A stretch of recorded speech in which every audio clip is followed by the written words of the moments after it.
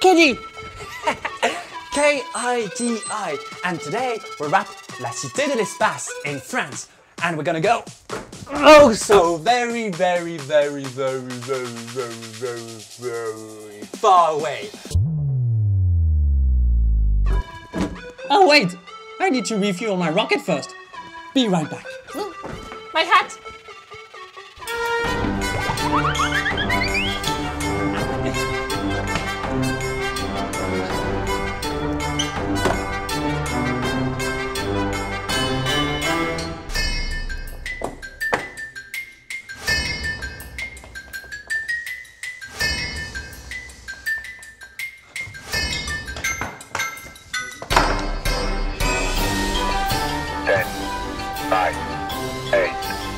Seven, six, five,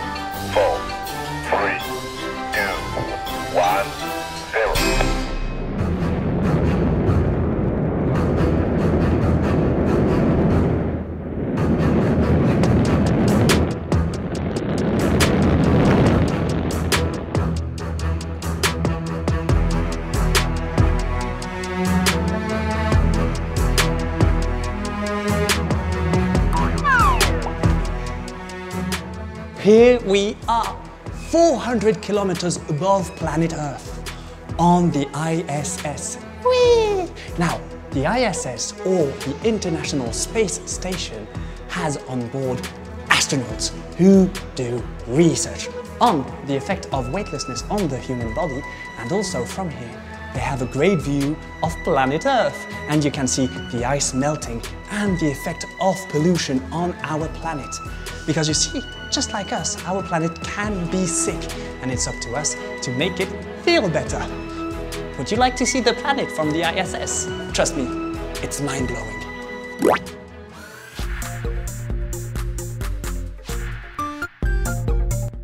Built in 1998, this is ISS. ISS stands for International Space Station. It weighs 420 tons and is powered by solar panels. The station moves aloft at a speed of 27,700 kilometers an hour, circling the Earth 16 times in a day. Whoa! It is currently 110 meters long, 74 meters wide, and 30 meters high. That's about the size of a soccer field. Whoa! There are an average of 10 astronauts living there, some of whom have stayed for over a year to prepare for future manned space missions, or even the colonization of other planets, such as Mars. Astronauts of many different nationalities work side by side inside the station, as the aim is to advance knowledge for the whole planet and not just for one particular country.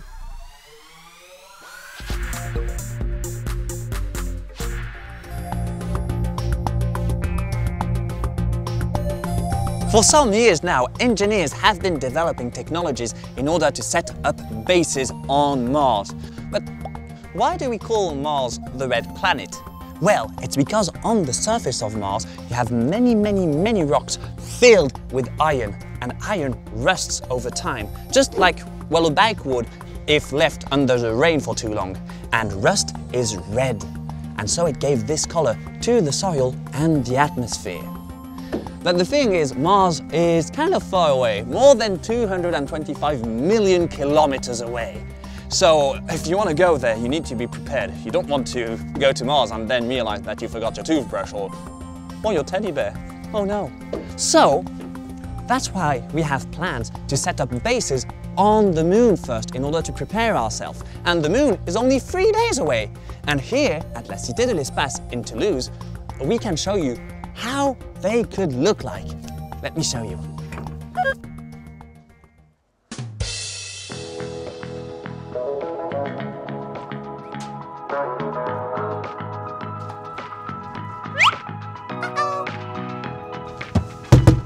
We're in a shuttle on approach. That means we're gonna dock on a lunar base. Magnificent! Now.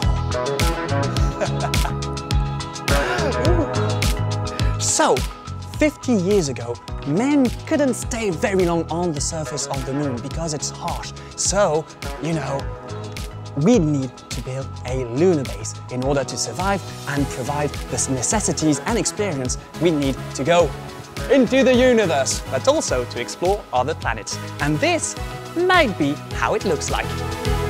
Woo! Isn't that fun? Oh, wow. So, those camps will be built with lunar vehicles, which will help us do some research and build properly. It could look like this. and who knows? Maybe you'd be one of the lucky ones to actually get to go on the moon and build a new society. Isn't that exciting? Ooh, yeah.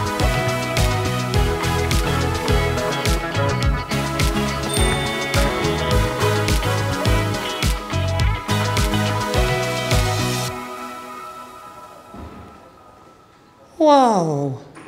Now, this rock here came from the moon. It was brought back during the Apollo 15 mission in 1971. And settling on the moon is just the first step on our journey to Mars.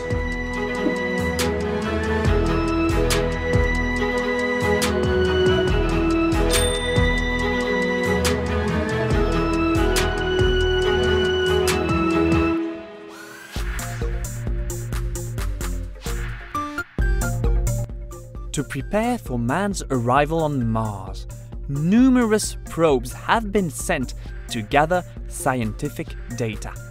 Launched by rockets, they cross our solar system to arrive on Mars, the red planet. These probes include the American rovers Curiosity in 2012, Perseverance, and Ingenuity in 2020. The probes have to be very robust to withstand not only the journey but also the landing on Mars. They have a lot to do once they arrive. The nature of the atmosphere, storms, temperature, the nature of the soil, and the presence or absence of water on Mars are data that only robotized vehicles called probes are able to collect. I'll show you how they work. Now, here we are in a unique place. This is a reproduction of a Martian crater. It looks just like a crater you would find on the surface of Mars. Now, Mars is a big, rocky desert. I mean, it's dry, it's sandy, it's just overall so, so, so empty and there's no vegetation, there's no animals, there's no life form, there's no life. Oh, honestly, it doesn't sound very appealing. Quite the opposite. Sounds appalling.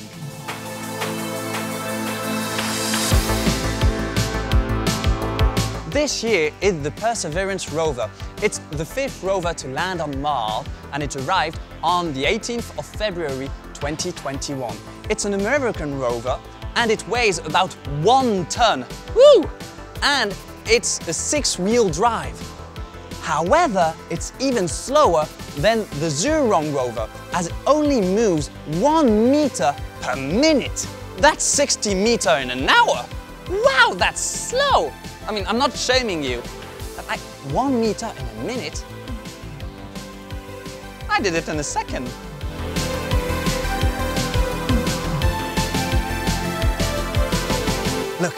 The average temperature on Mars is minus 63 degrees Celsius. So it's minus 10 during the day and minus 90 during the night. Talk about being cold. So, just like us, the rover needs to warm up before doing anything. And we can control it from Earth. However, the information takes anywhere between 5 to 20 minutes to reach it. That's really slow. Hello. Oh. He's warming up, he's stretching, you know, just like in the morning you.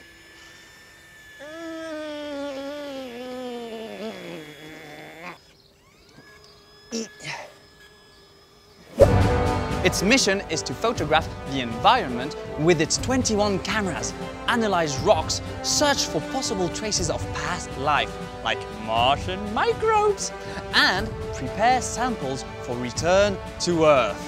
It is equipped with a laser for rock analysis. It's very powerful and can penetrate rock. Watch a laser in action. So, how do we make a rock analysis with a laser? Luckily for me, I have a friend who can help out with that. Hey, Cyan! Hi, Kidi. How are you, my friend? I'm doing great! How about you? I'm fine. Great! So, as you can see, he has a balloon and a laser. He's gonna point the balloon on the laser and we'll see what happens. I have glasses to protect my eyes because lasers are dangerous.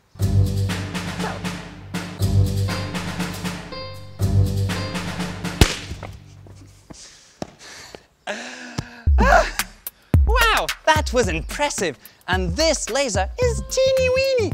The Perseverance laser is 10 million times more powerful than that one. And if a rock analysis is deemed of interest, then the robotic arm will take a sample. Luckily, Perseverance is very well equipped thanks to its articulated arm and its many instruments. Neat!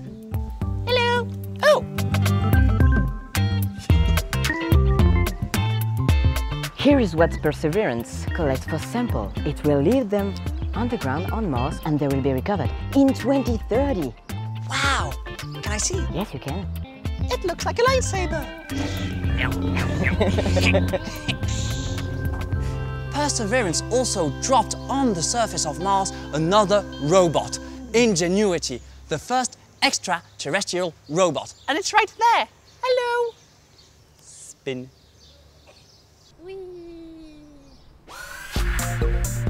Well then, my little Kidi kids, it's time for the Kidi quiz. We learned a lot. Now let's see what you remember. Okay, first question. What is the ISS? Is it A, a petrol station, or B, a space station? Timer. What is the ISS? Ah, time's up. So, let's hear your answer. That's right, the ISS is a space station. Space. S P A C E. Station. S T A T I O N. Congratulations! But we're not done yet. There's a second question. Are you ready? Great! So, what is Mars called? Is it A, the pink polka dot planet, or B, the red planet? Timer. What is Mars called? I don't know. I just don't. Ah, time's up! Let's hear your answer. I, I don't have an answer, I'll be honest. But m- maybe you're right. What's your answer? That's right. Mars is also called the red planet. The red planet. Red. R E D. Planet. P L A N E T. Yay! Are you ready now for the last question? What do we use to go to space? Do we A, use a rocket, or B, use a balloon? Timer. The question is, what do we use to go to space? Ah, time's up. So, let's hear your answer. That's right, to go to space, we use a rocket! Congratulations! A rocket. R O C K E T. Congratulations! You got all the right answer to the Kidi quiz! And you know what that means now? It's time for the Kidi dance! Let's go!